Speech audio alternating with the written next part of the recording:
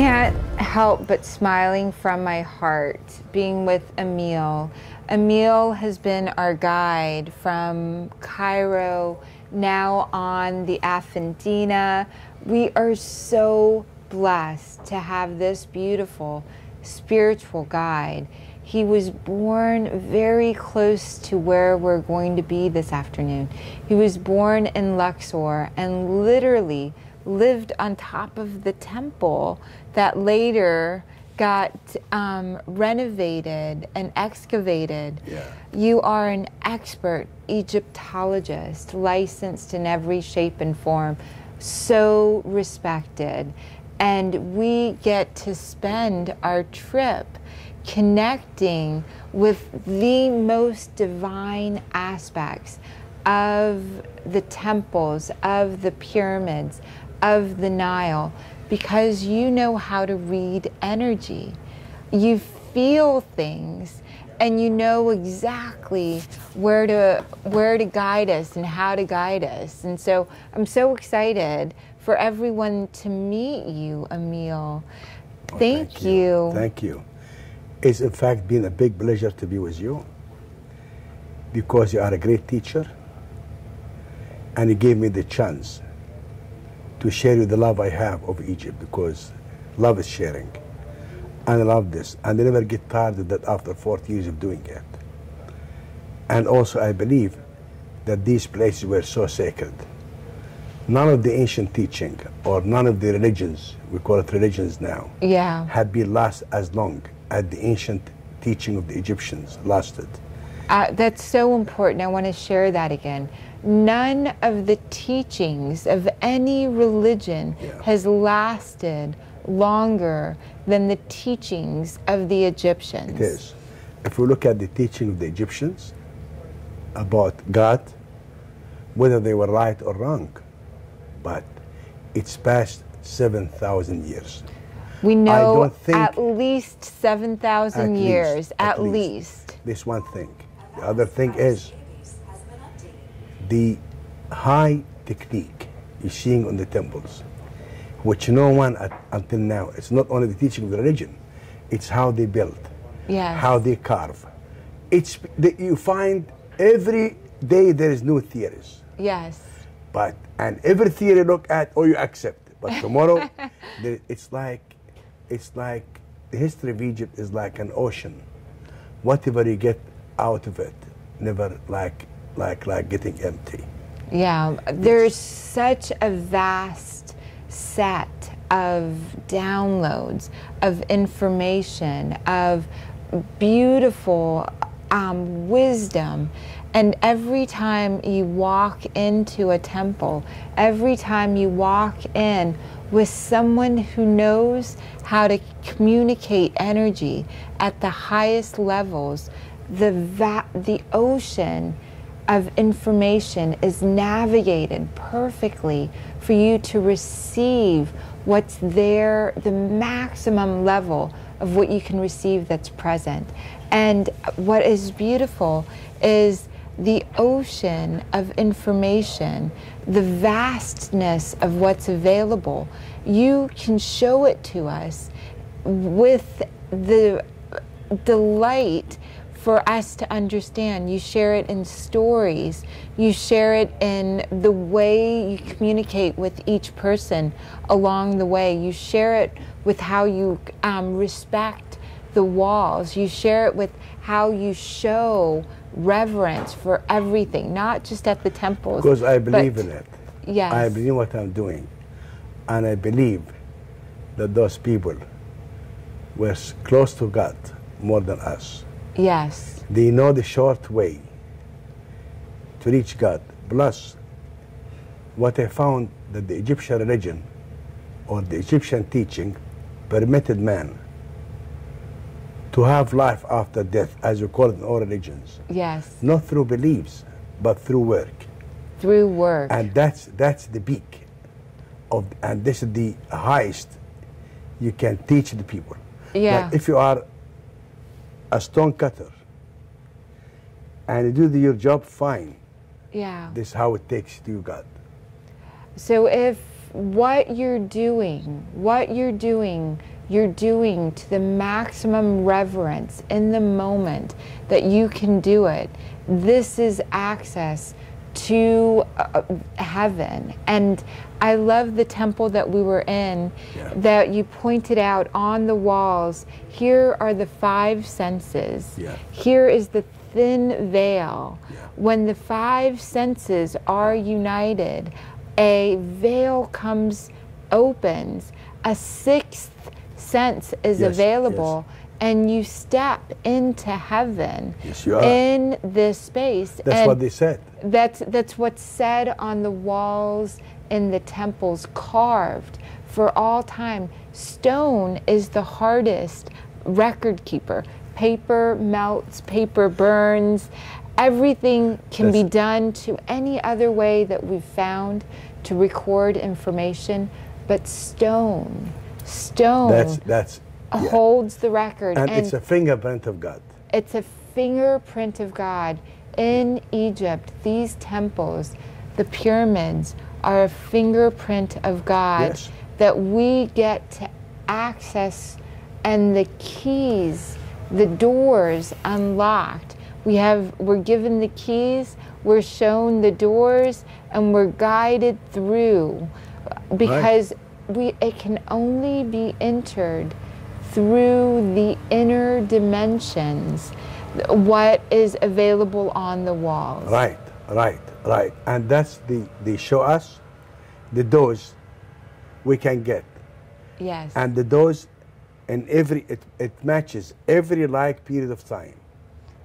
so there's like a certain amount uh, a, a dose Yes. a a quantity that can be handled and you get the exact quantity that you're ready for That's that's exactly.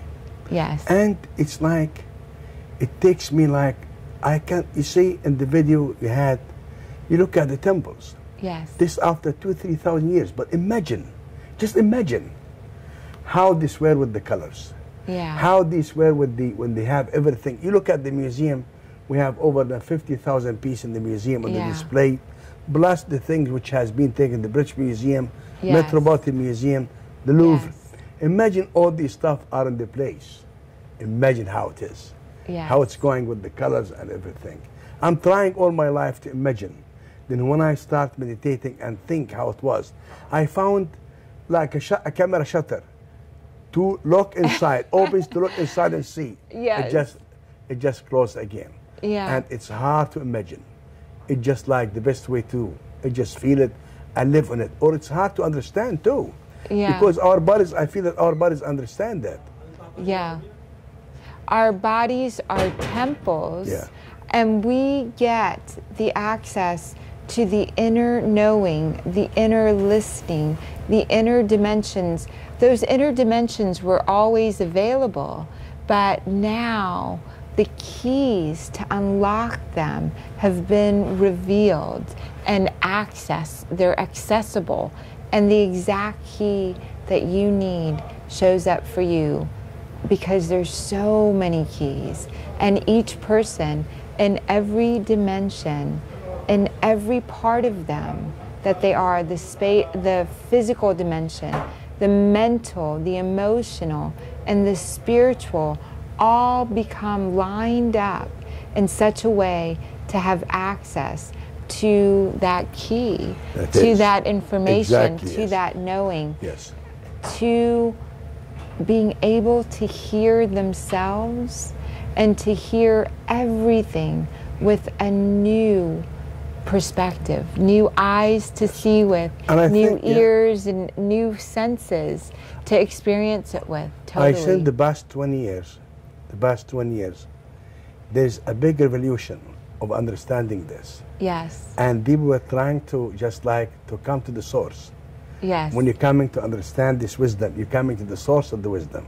So Egypt is the source of the is. wisdom. The It last is. 20 years, so many of us have woken up to Yes. know, wow, you've got to experience it and know it for yourself. It can only be accessed whether from inside yourself.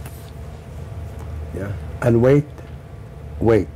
I know you've seen a lot, like Edfu, Horus, Philae, Yes. the feminine. Yes. You can see. You go to the temple. This is the very. The all the structures are the same, Yes. but it's a different energy. Yes. If you go to Isis, you wanna. You don't wanna leave. We were four hours in the Isis. We don't wanna leave. We didn't go to leave. It's very masculine because that's where the fight took place. yes. Now we're coming to the highlights of Egypt, yes. which is the Karnak, and which I regard to be it's the, the school of religion, the school, the teaching of, of, of history. Yes. This is like the cathedral of ancient Egypt. the Yeah. cathedral of ancient Egypt Yeah. and the experience has been building and building and building. We've been unlocking parts of ourselves. Yeah. We've been opening and becoming more and more available. And so to enter your your region, your land, but this space that you take care of that Oh, has taken you. care of you. You also manifest that. Yes. You had a trip, or you came before, or the people that came before.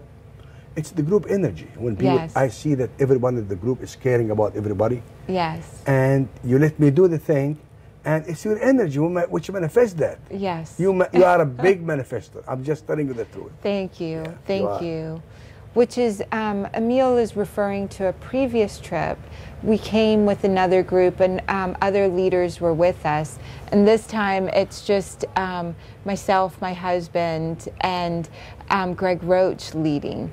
And there is a beautiful group of people with us, and the journey has been so transformative. The transformation has been during the meals. The transformation has been during the conversations. The transformation has been in allowing the energy, you to guide us, Muhammad to guide us, and each part of it, each person contributing the maximum level of heart energy. I love everyone comes to Egypt.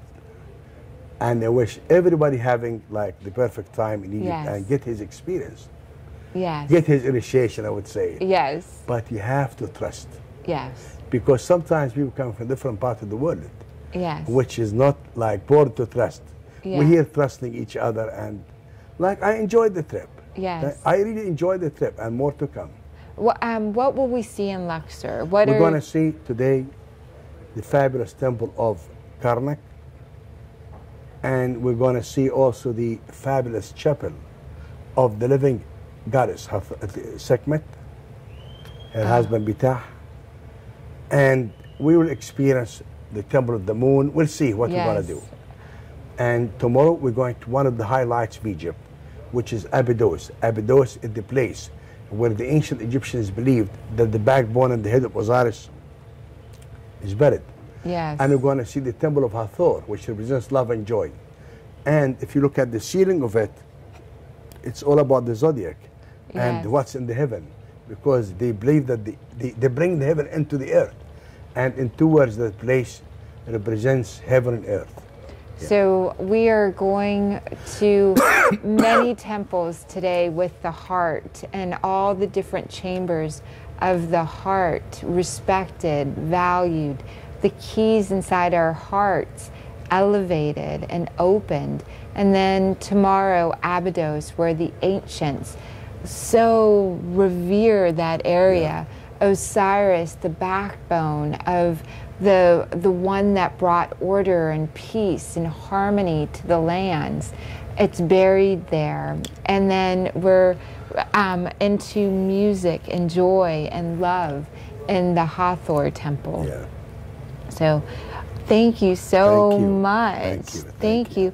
If there are Americans listening, what would you tell Americans? I say, I will tell one thing that we've been like, whenever dug in a city, yes. we stayed overnight in the villages. yes. And there is a very interesting story happened to her husband today. Yes. Me and him walked to the village, and we want to buy melons. The man already sold them. Yes. But the minute we get in there, he cuts a melon.